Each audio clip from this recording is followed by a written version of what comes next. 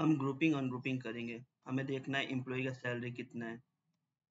अब employ wise salary में बार बार right जाना पड़ रहा है तो मैं क्या करूँगा? डेटा ज़्यादा है कंट्रोल स्पेस करके कॉलम सेलेक्ट करूँगा।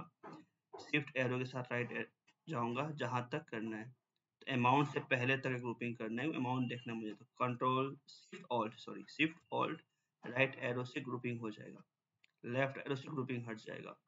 तो राइट एरो किया, ऊपर आपको दिख रहा है, ये प्लस साइन आ गया। इस पर क्लिक किया मैंने। अब देखो, नाम और सैलरी दिख रहा है मेरे को। अब इसको मैं खोल दिया वापस। अब मानो मुझे जेंडर भी देखना है। जेंडर क्या है? तो जेंडर ग्रुपिंग हटाना है। कंट्रोल स्पेस किया। ऑल शिफ्ट लेफ़्ट एरो किया। ये बीच से ग्रुपिंग ब्रेक हो गया। अब मैं इस पर क्लिक किया। इस पर क्लिक किया। अब नाम और सैलरी दिख रहा है। लेट से मुझे और ग्रुपिंग ऐड करना है एनुअल को।